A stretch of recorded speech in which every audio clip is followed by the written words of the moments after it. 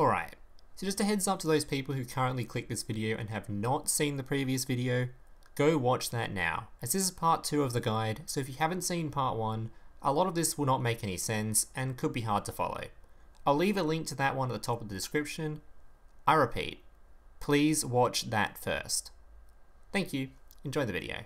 The 23rd box is Crusader Battlegrounds, and once again it is a box that has fallen victim to reprinting. C-. The Silent Swordsman stuff in this box is all quite strong, but sadly it is improved a tremendous amount by the structure deck, which contains all the Silent Swordsman support featured in this box, making that side of the box pretty irrelevant. But thankfully, there is a few extras in here to look out for. The majority of the Noble Knight archetype is in here, Grandmaster of the Six Samurai, DD Assailant, some of the better Bujin support, Steel Swarm, and Special Hurricane are all fairly decent cards. As far as fun goes, we have more Monarch support and some Vylon support, but obviously I wouldn't recommend this box since the structure deck exists, unless of course you are desperate to play Noble Knights. The 24th box is Clash of Wings. C-. Minus. This box is once considered the absolute best box in the game, as it gave you a tier 0 archetype for an extremely small amount of gems, and that archetype was Fur Hire. Unfortunately though, that archetype got banned a whole bunch, and then power crept, and now it's not all that great, and sadly since this box was 90% Fur Hire, there's basically nothing else left. There is Widespread Ruin, which is a decent back row card, as well as some Mecha Phantom Beast support, but that's about it. It does contain the best worm card in the game, Meteorite, if you're a fan of messing with worms, but that's just a fun deck. Basically, this box is extremely free to play friendly, but only if you want to obtain a very off-meta deck that is quite outdated with a bunch of banned cards still sitting on the ban list. The 25th box is Burning Nova. C. This box has got one currently meta card on it, but honestly, I would just ignore it, as it shouldn't sway your decision on this box since it's just one tech card slapped into Dark Magician to counter the current meta we are in. Dark Magician doesn't actually need this card to run, so it should be the last thing on your mind, even if you are a Dark Magician player. As for viable options in this box, the vast majority of the Batteryman archetype is in here, some decent Fire Fist support, the Gem Knight fusion spell along with some more Gem Knights, Dust Tornado, Gilasaurus, and Bergion Whirlflame, which saw some play in Shiranui recently. This box also comes with a decent amount of fun options with some extra deck Elemental Hero fusions, Gemini support, Treasure Panda for the Exodia players, and the Larval archetype, which is quite outdated now but it's still fun to mess with. Overall, this box does come with a lot of support for a lot of different decks, but the majority of those decks will be incomplete without digging into other boxes, and other decks here are actually meta relevant.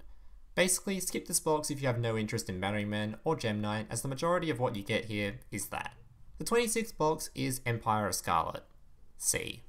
This box was very close to being a C+, as although it doesn't have any meta relevant options, it does contain an extremely free to play art type in Aquaactress, so no matter what, you will always be able to get a completed deck from this box, as long as you're willing to part way with some rain tickets.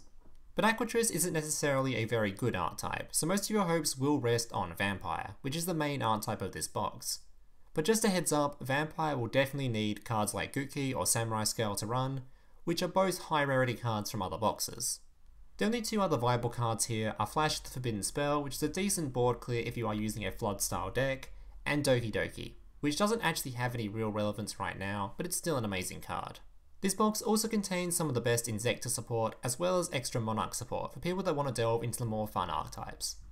Overall a decent box if you want to build towards Vampire, as at the very least you'll be given a cheap deck to play whilst you save towards it. The 27th box is Gaia Genesis. C+. No meta relevant cards here, but a ton of viable archetypes. This box contains the majority of Ultra Athletes, Mermail, and Quacky Mary, which was once one of the absolute best decks in the game. But do be warned, all three of these archetypes do need further support from other boxes later down the line, so you will have to do some extra digging. It also comes with Galaxy Cyclone and Drowning Mirror Force, which are both fantastic cards that can be used in almost any deck you're building, as well as Sangan, which is a great searcher card you will see used here and there. This box will give you the basis for a lot of decent decks, as well as a couple of nice staples for you to use, so not a terrible choice, but honestly nothing too spectacular here. The 28th box is Stardust Acceleration. C. This box does contain some great support for Blue Eyes, as well as Genex Undine and Genex Controller for the current meta Crystrons. But all these cards are just support, the vast majority of this box is just a bunch of unviable archetypes like Gusto, Genex, and X-Saber that are still reasonably fun to play, but like I said, are not very viable. The box does come with a few decent singles though, like Offerings to the Doomed, Hallucigenia, Unexpected Die, and of course Stardust Dragon, but I can't really recommend this box super highly unless you happen to already be building towards Blue Eyes or Crystron, and it's mostly just great support for those two archetypes, along with a ton of other fun archetypes to play as a bonus. The 29th box is Power of Bravery, D+. Sadly, the main focus of this box is Morphtronic and Power Tool Dragon, which although pretty fun, is a bit far off being viable. The only reason you would ever dive into this box is for Buster Whelp and the Buster Blader Quick Play Fusion spell, which are both insane cards and take Buster Blader from being garbage to actually viable. But the majority of Buster Blader is elsewhere, so this box will give you nothing unless you happen to be building that already. The box does also contain some Vylon and Scrap support, but both those art types are reasonably unviable. The 30th box is Blackstorm Rising. C. Now I know a few of you would have seen the Blackwing cards and have gotten excited, but do be warned the majority of the meta Black Blackwings are in a different box. This box does contain some of the meta cards used in Blackwing though, along with Cards of Consonance, which get splashed into a lot of Dragon decks from time to time, and is currently being used in some of the meta Blue Eyes lists. This box does come with a couple of viable options in Breaker and some of the better Bujin support, but both are a little dated now. Dragoon does make an appearance in this box, but that's an art type that got reprinted into a structure deck, which takes all the decent Dragoon cards from this box anyway, which lowered the rating of this box quite a bit, as that's the main stuff you're getting outside of the Blackwing stuff. So if you're at all interested in that stuff and not Blackwing, just buy the structure deck. As for fun stuff, we have got some Harpy and some Reptilian support, but I would skip this box if you have no interest in Blackwing. The 31st box is Secret of the Ancients, D+. This boss is easily a skip. What you're getting from this box is generally extra deck, and not necessary extra deck. The two meta cards you're getting are Powered Inzektron for Crystrons and Ancient Fairy Dragon for Blackwing, which are both fantastic options, but not necessary for their respective decks to be played. The rest of the viable support is Junk Synchron, Summon Breaker, and Armades, but Armades has fallen off a ton since it's released and is barely played anymore, and Summon Breaker is a field spell used to counter certain decks we don't really have in Duel Links yet. Mojo and Traptrix are also in here as some extra fun stuff. Both are very unplayable, with Traptrix being an extremely unfinished art type in Duel Links. The 32nd box is Revolution Beginning. C. Now the only meta card in here is Unending Nightmare, which to be honest I had to go double check as I haven't seen this card in a long time. But apparently it's currently quite popular in E-Saber right now, I assume to try and counter Blackwing and to activate Destiny Draw, but honestly, you can skip this card for E-Saber anyway, as I'm pretty sure it's currently just a tech card that will fade eventually. As for viable cards, the box has the better side of Karakuri, the best Kawaki Mary support, Miracle Fusion, Misjudge for Desperado players, and some junk support. Fabled and Iron Chain are also in this box as an added bonus, but overall the box isn't that bad. It will give you the majority, if not all, of a Karakuri deck, but as there isn't really any meta stuff in here or any staple back row cards, that's basically all you're getting, so this box doesn't scale very well, and you'll be stuck on an off-meta option, so it's probably best to invest elsewhere. The 33rd box is Tornado of Phantasms, D. Honestly, unless you are already building Mecha Phantom Beast, which are already a pretty average deck, there's nothing in here. You won't even get all the cards required to play Mecha Phantom Beast from this box, so this is an easy skip. The box does give you Stardust Assault Warrior and Mistbird Clausolas, but both of those cards are pretty niche anyway, so you don't need them. Even the Gusto cards you get in here will leave you with an unfinished list.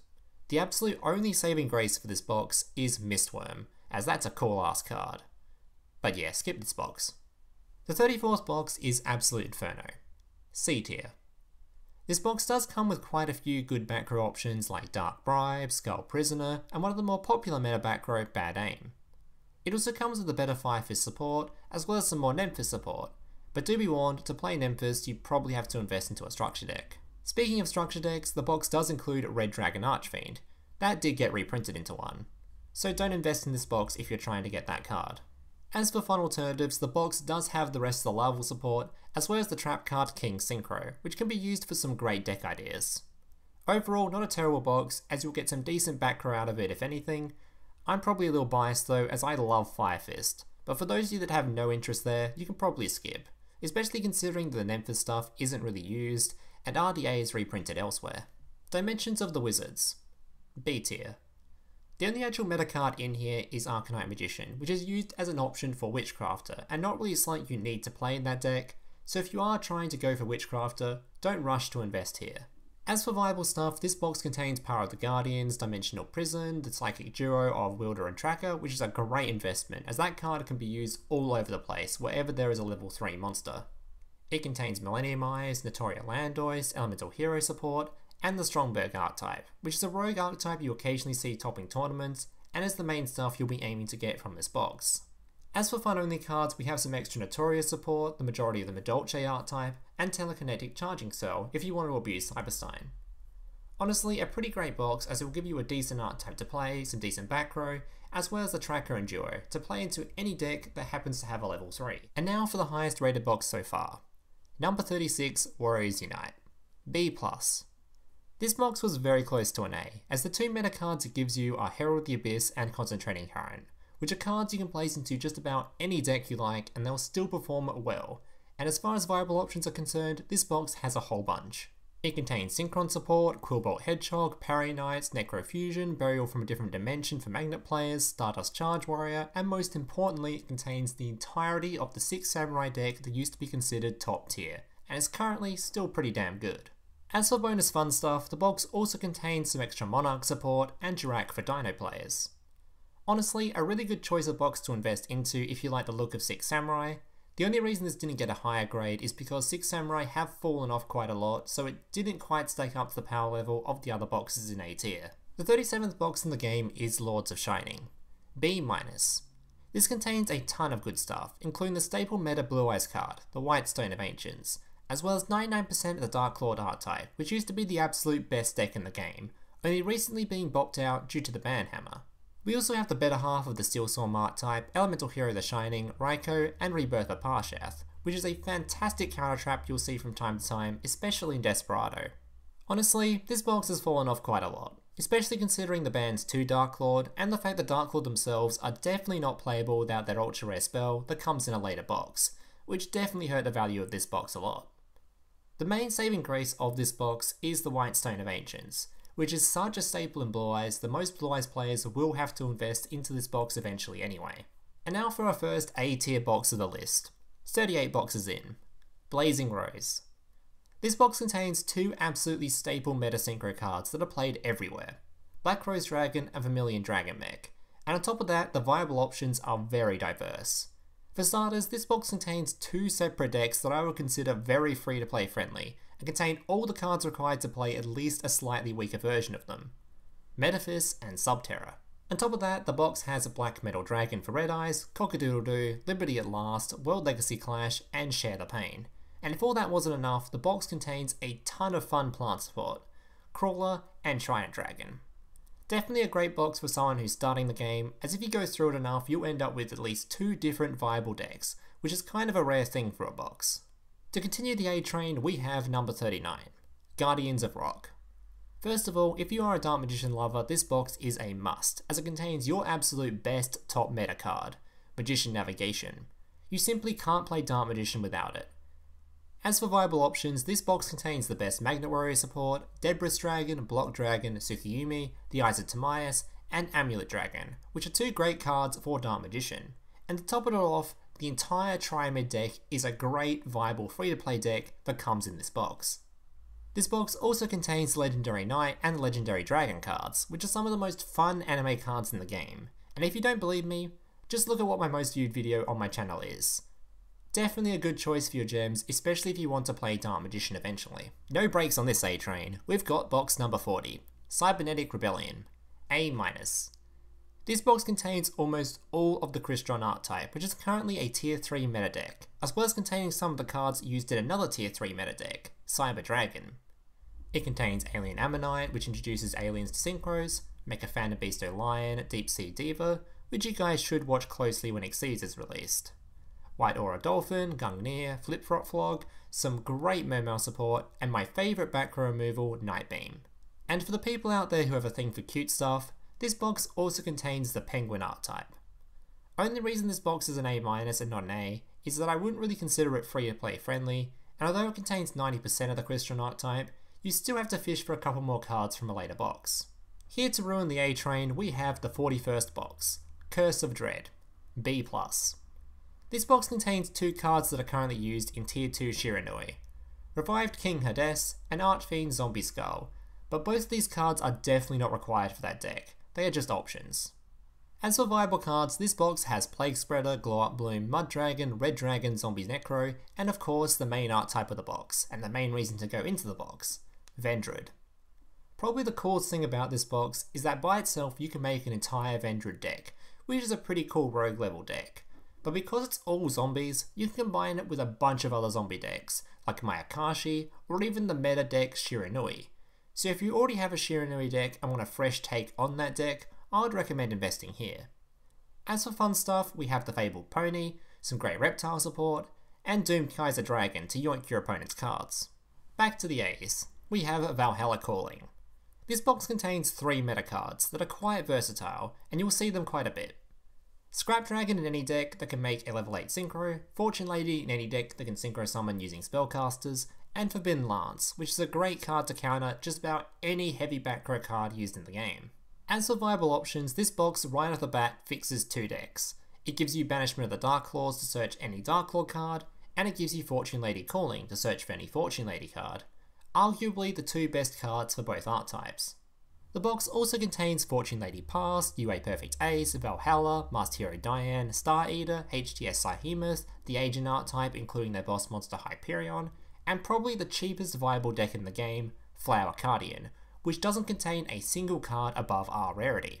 The box even has some high tier fun cards, giving us Lamina to try and make reptiles playable, and giving us access to the Norse gods. So overall, a fantastic box, as it fixes a ton of decks and at the very least will give you one cheap deck to play that will take no time at all to make. And now for our highest graded box yet. Number 43, Dark Dimension, A+. This box will basically give you the entire Invoked Element Saber deck, that I'm pretty sure has been the longest lasting meta deck ever in Duel Links. This obviously gives you access to the Invoke package as well, that can be stuffed into just about any deck that uses an Earth, Fire or Water monster.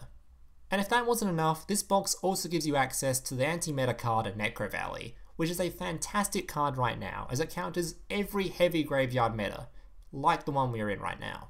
As for viable options, this box has Gravekeepers, Magicalized Fusion, Quintet Magician, Dark Magic Veil, Chaos Sorcerer, and Thunder Dragonhawk. The box even has some decent fun cards, with the Magician Girl archetype, gadgets, and Pandemic Dragon. Honestly, it's hard for me to give this box anything but an A+, purely based on the fact that you can build the longest lasting meta deck basically from one box, and due to how everlasting the invoked package will be, since it can basically be stuffed into almost any deck from now until the game dies. Number 44, Spirit of the Beast, A-. So this box grants you the remaining cards for the Metacrystron deck, as well as granting you the entire meta deck Ritual Beast, which has popped in and out of meta a ridiculous amount of times since its release. As far as viable options are concerned, the box does contain Divine Wind, the Magnet Warrior Field Spell, Super Buddy Tag Force Unite, and 95% of the Yosenju archetype, which is a pretty solid deck on its own. The only reason this box is an A- and not an A is that it's not exactly free to play friendly, as you will have to go through the box quite a few times to get a hold of a good Ritual Beast deck, and I wouldn't exactly recommend it to new players anyway, due to the difficulty of Ritual Beast as a deck. Number 45, Aerial Assault, B+. So obviously this box is the main source of the Blackwing cards, which are considered the best deck in the game currently.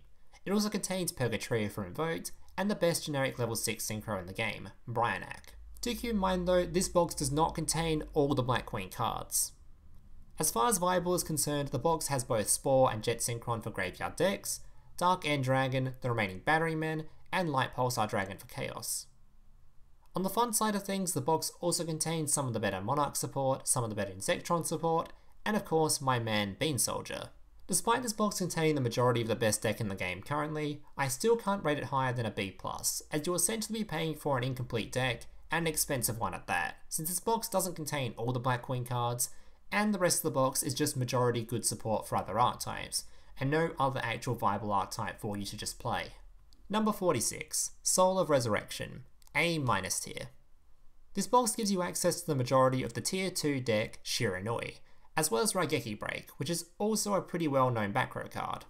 The actual tier 2 deck of Shiranui does use a lot of ultra rare cards that are not featured in this box, such as Kazuki and Ballista Squad, but in general the Shiranui art type is quite versatile, so you can build it in a variety of ways and it would still definitely be able to compete at the highest level, and there are a ton of free to play variants out there that just use this box.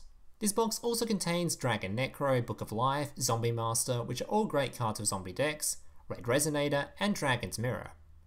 On top of that, it contains a few fun cards, like some extra Assault Mode bosses, and Duel Links' only Xyz monster, Phantasmal Lord Ooga which is one of my favourite meme cards in the game. This is honestly a great mini box that will give you a top tier deck, but I won't give it any higher than an A- minus purely because the higher tier versions of the deck will need a few upgrades from other places to reach the tier 2 status. And those upgrades are quite expensive. And now for our second A+. plus, Number 47, Future Horizon. So this box will give you the majority of the tier 3 Cyber Dragon deck, as well as the anti-banish tech card Artifact Lancier. And again, this box has an absolute must for Dark Magician players, as it contains Dark Magician's second best card, Dark Magical Circle, which single-handedly took the deck from being trash tier to top tier. In the viable options, we have quite a few to choose from too. We have DD Warrior Lady, Tragoedia, Chain Disappearance, Righty Lefty Driver, Rush Warrior, and other Synchron support, Zeta, Angel Trumpeter, Thunder Dragon Duo, Stardust Spark Dragon, and most importantly, the entire free to play friendly deck, Super Heavy Samurai. At first glance, Super Heavy Samurai may look kind of expensive with all the ultra rares and SRs, but 90% of lists don't actually use more than two copies of each max, and you can easily build a fully functioning deck from just one clear of the box. The box also contains the Cyframe art type, which is quite a fun and could be relevant art type in the future, if the rest of it is released down the line. In summary, a fantastic box, as it will give you a fully functional rogue deck, as well as some of the best cards in the game for two of the top tier archetypes being played. And after that hype, we get hit by the trash again. Masters of Shadow, C-. This box was a pretty big letdown on release. It gave us access to some great support for Ninja, but sadly, it's only support, so you need to go into multiple boxes just to complete the deck, and considering the deck isn't all that great anyways, that's a lot of value lost.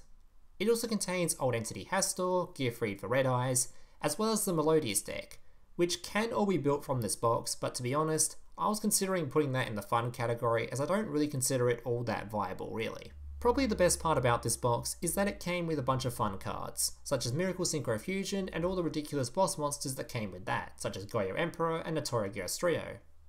It also came with some pretty decent worm support. Overall, don't buy this box unless you happen to already have the ninja cards, as compared to the last few boxes I just showed, it's pretty clear you are wasting your gems. And now we reach my absolute favourite box, and by far the best box ever released in my opinion.